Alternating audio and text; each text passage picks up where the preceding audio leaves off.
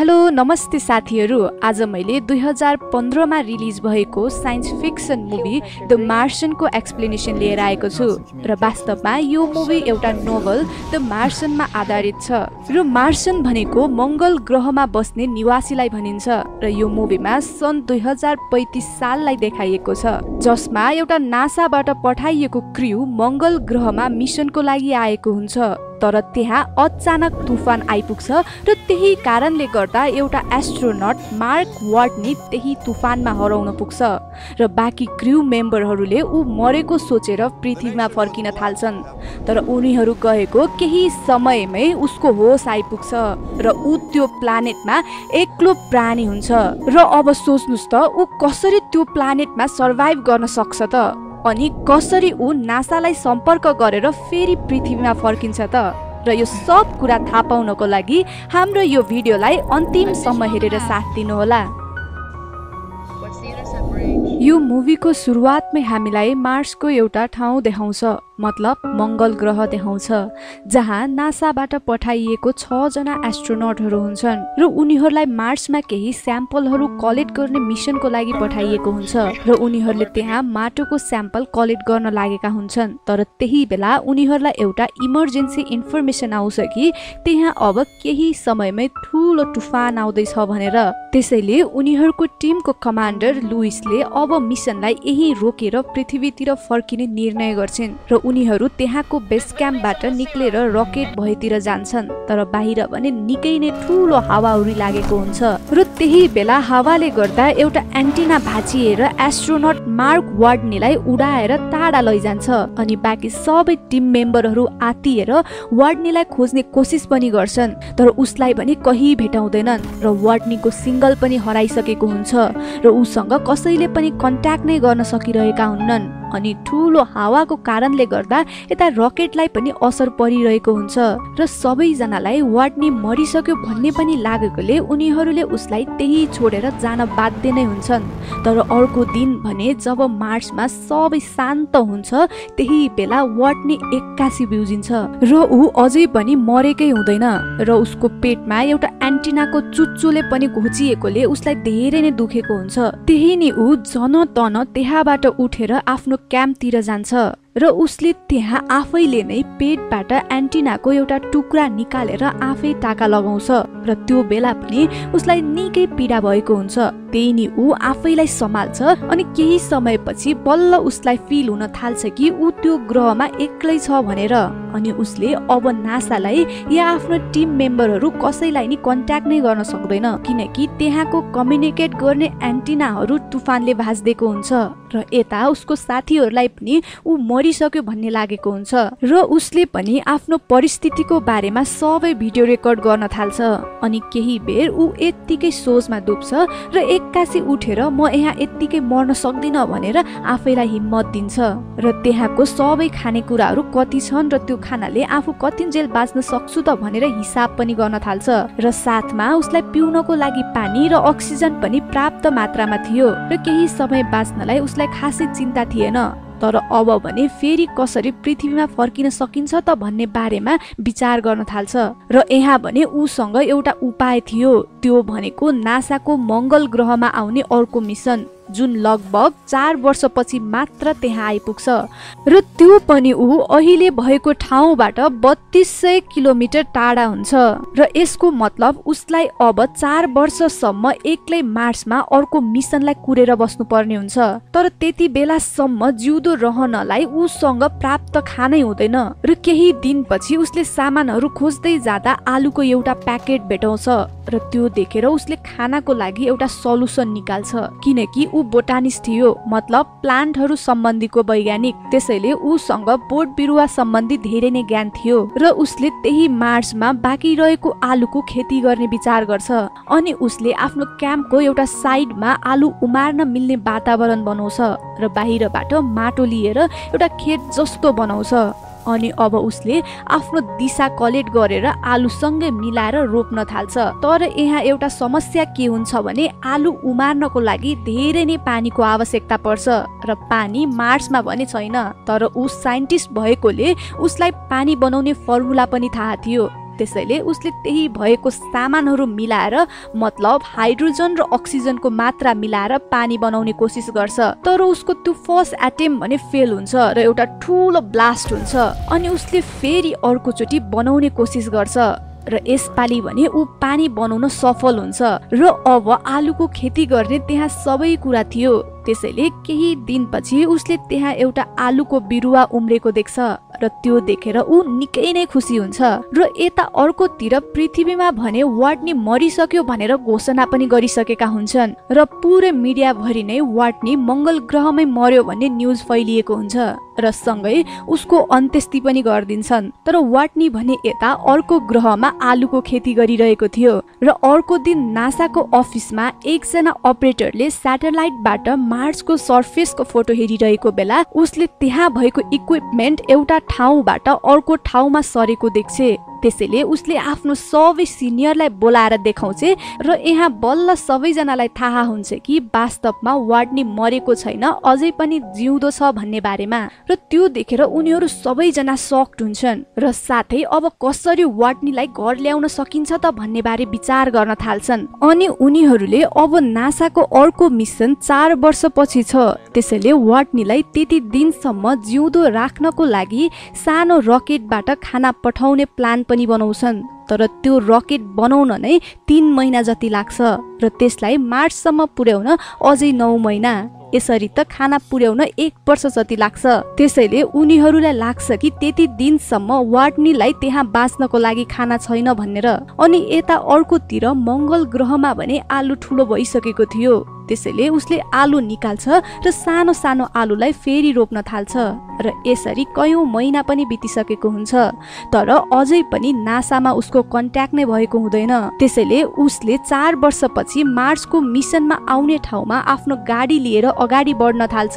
जुन त्यो ठाउँदेखि बत्तिस सय किलोमिटर टाढा हुन्छ र त्यहाँ पुग्न उसलाई लगभग पचास दिन जति लाग्छ र बाटोमा जाने क्रममा लक्कीली उसले त्यहाँ एउटा सेटेलाइट भेटाउँछ जुन धेरै वर्ष अगाडि त्यहाँ मार्सको फोटो खिच्नको लागि ल्याइएको हुन्छ र केही कारणले गर्दा त्यो बिग्रेकोले त्यसको सिग्नल नै हराएको थियो।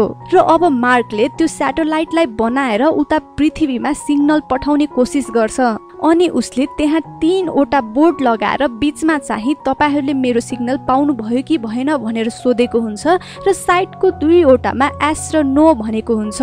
अनि सेटेलाइटले त्यो बोर्डको फोटो खिचेर नासामा पठाइदिन्छ र यताबाट सेटेलाइटको क्यामेरालाई कन्ट्रोल गरेर एस भन्नेतिर इसारा गर्छन् र यहाँ मार्कले बुझिहाल्छ कि नासाबाट उसलाई हेरिरहेको छ भनेर। त्यसैले ऊ निकै खुसी हुन्छ र केही दिनपछि ऊ नासासँग कनेक्ट भएर इमेल बाटै कुरा गर्न सुरु गर्छ र यहाँ नासाले उसलाई चिन्ता नगर हामीले तिमीलाई खाना पठाइदिने व्यवस्था गर्दैछौँ भनेर सुनाउँछन्। अनि यता मार्च मिसनमा आएको टिमलाई भने वाटनी जिउँदो छ भनेर अझैसम्म थाहा नै हुँदैन। र उनीहरू अझै पनि स्पेसमै हुन्छन् र पृथ्वीतिर फर्किँदै गरेका हुन्छन्। र केही महिनापछि तिनीहरूलाई नासाले वाटनी जिउँदो छ भनेर सुनाउँछ। र त्यो कुरा सुनेर सबैजना खुसी पनि हुन्छन् र सँगै दुखी पनि किनकि उनीहरूले वाटनीलाई एक्लै त्यहाँ छोडेर आएका हुन्छन् र अब उनीहरूले केही पनि गर्न सक्दैनन् र केही महिनापछि मार्चमा देखाउँछ जहाँ वार्डनी नासासँग र आफ्नो टिमसँग इमेलमा कुरा पनि गरिरहेको हुन्छ र सबै कुरा ठिक चलिरहेको हुन्छ। तर एक दिन भने जहाँ उसले आलु रोपेको थियो त्यहाँ एउटा ठुलो ब्लास्ट हुन्छ र त्यही कारणले गर्दा सबै रोपेको आलु बिग्रिन्छन् र अब फेरि रोप्नको लागि भने मिल्दैन किनकि सबै सामानहरू बिग्रिसकेको हुन्छ। अनि अब उसले बाँकी रहेको खानालाई कति दिनसम्म पुग्छ भनेर हिसाब गर्छ तर पृथ्वीबाट जति बेलासम्म उसलाई खाना पुर्याउन आउँछ त्यो बेलासम्म उसलाई त्यो खानाले बाँच्नै पुग्दैन। त्यसैले उसलाई नासाले म्यासेज गरेर जति सक्छौ त्यति थोरै खाने कोसिस गर भनेर सुझाव दिन्छ र वाटनीले पनि अब खाना निकै कम खान थालेको हुन्छ र ऊ बिस्तारै निकै नै दुब्लो हुँदै गएको हुन्छ र यता पृथ्वीमा भने नासाले सबै खानाहरू र जरुरी सामान राखेर रकेट मार्चमा पठाउन लाग्छ र धेरै ढिलो भएकोले उनीहरूले त्यो रकेटको टेस्ट पनि नगरी लन्च गरिदिन्छन् जसले गर्दा रकेट आकाशमै ब्लास्ट हुन्छ र त्यो देखेर सबैजना निराश हुन्छन् किनकि वार्डनी अब बाँच्ने चान्स निकै नै कम थियो र यता वाटनीले रकेट लन्च फेल भएको कुरा थाहा पाएर ऊ पनि निकै दुखी हुन्छ अनि निराश भएर बसिरहेको हुन्छ र उसले आफ्नो टिम मेम्बरलाई इमेलबाटै म्यासेज गर्छ कि मेरो आमा बुवालाई भनिदिनु कि मलाई मेरो काम एकदमै मनपर्छ र यदि म मरिहाले पनि धेरै नै ठुलो काम गरेर मरेको हो र छोराले कहिले पनि हरेस खाएन र अन्तिमसम्म पनि लडे भनेर सुनाइदिनु भन्छ अनि यता नासा भने पुरै निराश भएर कुनै उपाय नै देखिरहेको हुँदैन र त्यही बेला चाइनाले उनीहरूको मद्दत गर्ने विचार गर्छ किनकि उनीहरूसँग स्पेसमा जाने पुरै तयारी अवस्थामै हुन्छ। त्यसैले अब अठाइस दिनभित्रै नासाले चाइनाको मद्दतले फेरि रकेट लन्च गर्ने तयारी गर्छ र केही दिनपछि यही नासामा काम गर्ने एउटा एस्ट्रो डाइनामिक केटा रिजले वाटनीलाई बचाउने एउटा उपाय भन्छ जुन उपायले वाटनी चार वर्षसम्म मार्चमा कुरेर बस्नु पर्दैन। उसलाई पाँच सय एकसठी दिनमै पृथ्वीमा फिर्ता ल्याउन सकिन्छ भन्छ र वास्तवमा उसको त्यो आइडिया भनेको जुन मार्च मिसनमा भाग लिएका टिमहरू स्पेस सिपबाट पृथ्वीमा फर्किँदै गरेका छन् त्यो सिपको लोकेसन चेन्ज गरिदिने र स्पिड बढाएर पृथ्वीमा ल्यान्ड हुनु भन्दा पनि यसको एक राउन्ड लगाएर यहाँको रकेटबाट पठाएको खाना उनीहरूले पिक गरेर फेरि मार्चतिर फर्किने भन्छ। तर उनीहरू त्यो ग्रहमा भने फेरि ल्यान्ड गर्न मिल्दैन किनकि त्यस्तो गर्यो भने स्पेस सिपमा भएको तेलले उनीहरूलाई पृथ्वीमा फिर्ता आउनै पुग्दैन। त्यसैले उता वर्डनीले पनि एउटा फ्लाइङ अब्जेक्ट जुन मार्समा अझै पनि छ त्योबाट ऊ मार्सको अर्बिटबाट बाहिर स्पेसमा आउनुपर्छ र त्यही बेला अर्को टिमले उसलाई समातेर आफ्नो स्पेस सिपमा ल्याउने भनेर सुनाउँछ। र त्यो आइडिया त्यति सजिलो भने हुँदैन। त्यसैले नासाको डिरेक्टरले त्यो आइडियामा सहमति नै जनाउँदैन। किनकि त्यस्तो गर्यो भने वर्डनीको मात्र होइन अरू बाँकी क्रिउ मेम्बरको नि ज्यान खतरामा हुन सक्छ र यो आइडियाको बारेमा स्पेसमा भएको टिमलाई पनि सुनाउँदैन। छैनन् तर त्यही नासाको एकजना इम्प्लोइले जनतन गरेर ती क्रिउ मेम्बरलाई सबै प्लान मेल गरिदिन्छन् र यो आइडिया थाहा पाएपछि उनीहरू सबैजनाले वाटनीलाई जसरी भए पनि बचाउने निर्णय गर्छन् र यो नासाले दिएको अर्डर भने हुँदैन। त्यसैले उनीहरूले आफैले नै प्लान एक्जिक्युट गर्छन् र त्यो कुरा यता नासाले नै थाहा पाउँछ किनकि उनीहरूको पृथ्वीतिर आउने डिरेक्सन नै चेन्ज भएको हुन्छ। त्यसैले अब नासाले नि उनीहरूको कुरा मानेर रकेटबाट पृथ्वीको बाहिर खाना पठाइदिन्छन् र यता क्रिउ मेम्बरले त्यो खानालाई आफ्नो स्पेस सिपमा राख्छन् र मार्सतिर फर्किन्छन्। र अब सात महिनापछि यता वर्डनीलाई देखाउँछ जो खाना थोरै खाएकोले ऊ धेरै नै कमजोर र दुब्लो भएको हुन्छ अनि ऊ पनि अब त्यहाँको फ्लाइङ अब्जेक्टलाई रेडी गर्न थाल्छ ताकि ऊ केही अप्ठ्यारो नभई माथि स्पेसमा जान सकोस् भनेर। अब फाइनली त्यो दिन पनि आइपुग्छ जहाँ वार्डनी मार्सलाई छोडेर स्पेसमा आउनु पर्ने हुन्छ। र उताबाट अरू टिम मेम्बरहरू पनि आएका हुन्छन् र त्यो बेला वार्डनी भने निकै नै डराएको र सँगै भावुक पनि हुन्छ। र यो घटना के हुन्छ भनेर पुरै दुनियाँले पनि हेरिरहेका हुन्छन् र वार्डनी माथि स्पेसमा आउने बेला त्यहाँको प्रेसरले बेहोस हुन पुग्छ र उसँग टिम मेम्बरहरूले सिग्नलबाट कन्ट्याक्ट गरिरहेका हुन्छन्। अनि केही बेरपछि वार्डनीलाई होस आउँछ र त्यो देखेर सबैजना निकै खुसी हुन्छन्।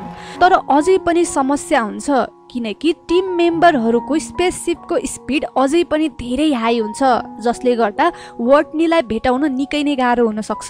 त्यसैले उनीहरूले आफ्नो स्पेससिपको पछाडिको भागलाई बम बनाएर ब्लास्ट गरिदिन्छन् र अब त्यसको कारणले गर्दा स्पिडको मात्रा ठिक ठाउँमा आउँछ।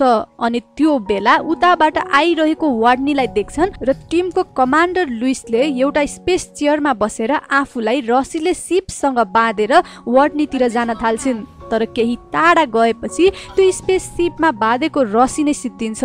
अनि वार्डनी भने अझै पनि ऊदेखि टाढै हुन्छ। र अब तुरन्तै वार्डनीलाई समातेन भने सायद ऊ त्यही स्पेसमै हराउन सक्थ्यो। त्यसैले वार्डनीले आफ्नो स्पेस सुटलाई सानो पाल बनाउँछ र ऊ त्यो पालबाट निस्केको हावाले डिरेक्सन बनाएर कमान्डरतिर जान्छ।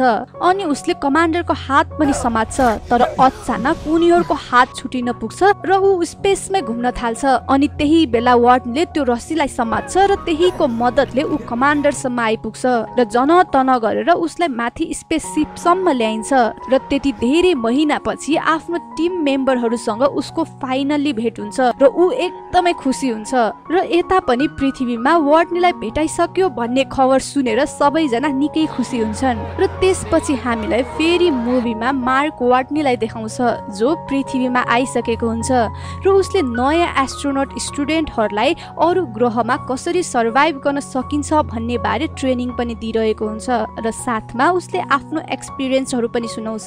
अनि यसैमा यो मुभीको समाप्त यही हुन्छ।